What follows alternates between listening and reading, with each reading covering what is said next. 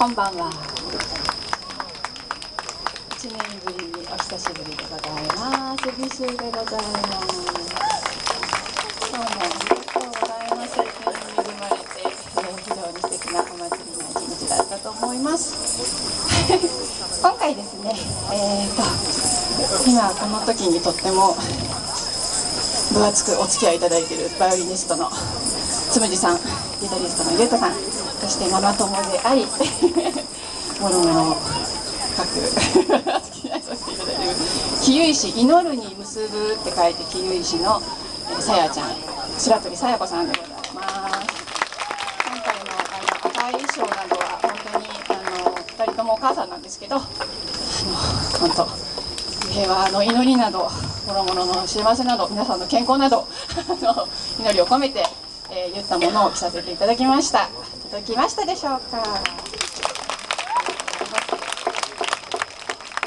えっと今日ですね、えー初めての試みでお土産を用意しております。あの下の事務所のところに、えー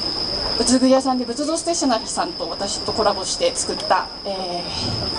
ー、数珠ストラップなるものが置いてありますのでよかったらあの見て手に取ってみてください。あとつむじさんの CD がございますので、えー、さても今日作ったのもほとんど彼が作品ですかね。カバーが。曲名だけじゃ、え1曲目ギターと2人でやったのが「夢塚」っていう僕の曲で、えーファーストアルバムに入ってますね。それから2曲目はまだ入ってないんですけど「えー魔女狩りのフィエスタ」っていうね曲でなんかビシュさんがすっごい黒い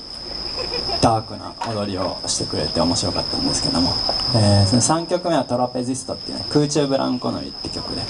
あのーセカンドアルバムに入ってます。4曲目はあリベル単語ね。リベル単語変拍子にしたのはサードアルバムに入ってますね。そして最後はあの玉置浩二さんの「メロディー」っていう曲をカバーさせていただきました。今日は本当にどうもありがとうございました。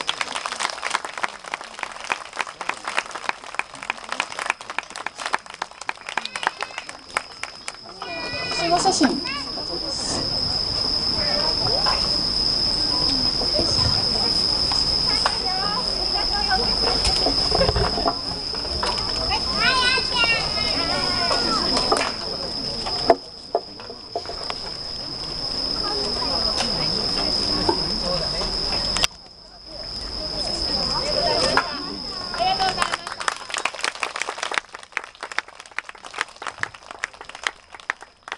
とても美しい楽器演奏と舞を披露していただきありがとうございました。